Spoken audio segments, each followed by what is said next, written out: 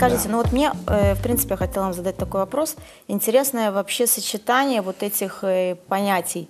Солнце, Луна и Земля. Что это за три такие э, прообраза, если можно так сказать? Но это- Является ли случайным то, что Земля является третьей планетой Солнечной системы и, в принципе, единственной, на которой возможны вот эти условия жизни, как бы даже биологической? На Земле особые природные условия для создания жизни в том виде, в котором она находится, перед Находится. нами, в наших ощущениях.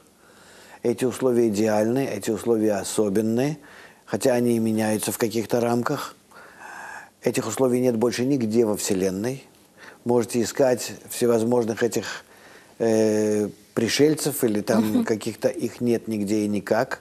Естественно, что мы можем э, говорить о Марсе как о прошлом Земли, о Венере как о будущей Земли. Это понятно нам из астрономии. Но, в принципе, на Земле условия особенные, причем эти условия проистекают из нахождения нашей Вселенной, нашей галактики, э, то есть Млечного Пути, в, нашем, э, в нашей галактике, значит, в нашей системе, Солнечной системе, отношение Земли к Луне и к Солнцу – это Зерампин, Малхут и Бина, мира Ацилут, так устроены в высшей системе, которые дают в нашем мире вот такие следствия, и эти следствия, они э, идеальным образом совпадают, находятся в определенном ритме между собой, и этот ритм, он постоянно двигает нас вперед. То есть э, минуты, часы, там, годы и так далее, это все ритмы, э, они заложены уже в самой космической этой системе, и они, потому что они таким образом не сходят из наших душ. То есть сначала образовывалась система душ, высшая система, а потом, как следствие для ее реализации, уже образов- образовалась наша Вселенная и наша система, Солнечная система и наши вот эти условия на Земле. И то, что мы проходим на нашей Земле, все эти вот этапы нашего развития, они уже пройдены нами в духовном мире.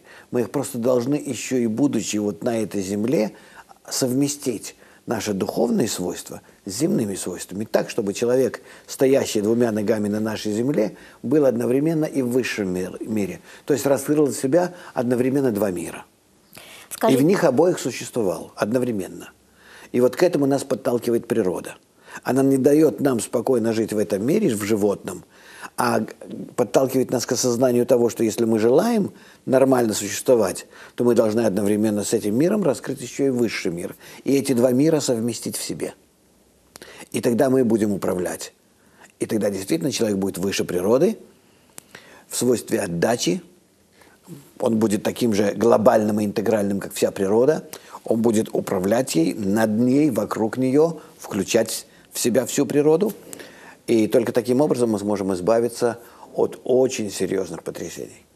Скажите, ну, мне известно, что, в принципе, в книге Зоар было написано еще 2000 лет назад о том, что земной шар круглый. Да. А что ж такого? Откуда? А, откуда а, а несчастного Татана Да. Бруна, да, сжигали. А каббалисты вот сволочи сидели там где-то и молчали, и хидно так хихикали, да. Э, Нельзя было раскрывать этого ничего. Нельзя было. Тогда бы сожгли бы всех каббалистов. Давайте так подумаем. Но дело в том, что действительно так. В книге Зор написаны такие открытия, которые человечество открыло э, за эти две тысячи лет, и еще такие, которые оно откроет. И все равно мы о них не говорим. Почему? А зачем? Не надо человеку знать больше, чем он сам добивается своим трудом. И то он открыл слишком много. Лучше бы меньше знал. Вы согласны? Да, В основном ничего для- а из того, что мы открыли, не для нашей пользы. Ничего.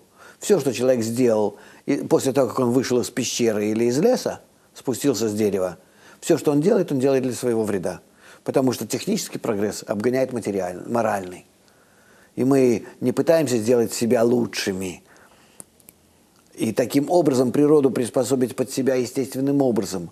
А пытаемся, как мы говорили, искусственно э, облачить себя в какой-то кокон и быть независимыми от природы, независимыми от Творца, иначе говоря. А это не получается.